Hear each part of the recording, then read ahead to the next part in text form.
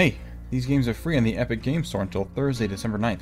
First up, Dead by Daylight. Released June 2016 and developed by Behaviour Interactive, is an asymmetrical PvP survival horror game. The object of the game is to either survive by repairing generators and finding the escape door, all while under increasing pressure from another player,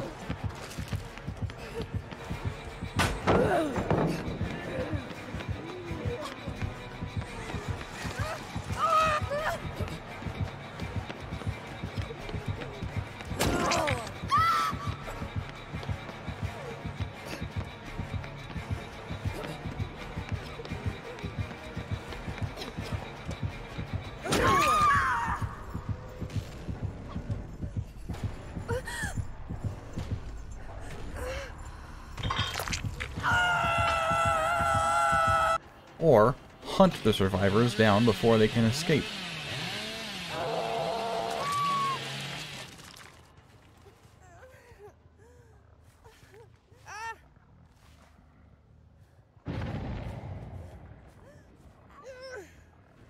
and sacrifice them to permanently remove them from the game. It scored a 71 on Metacritic and a fair 70 on OpenCritic. Normally, this game costs $20. Is it worth the download? Yes, but it has suffered from DLC bloat. Next up, While True, Learn.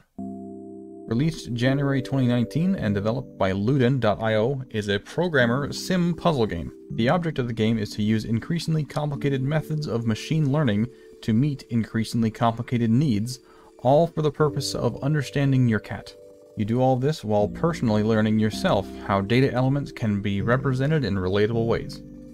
It scored a 73 on Metacritic and hasn't been rated on OpenCritic yet.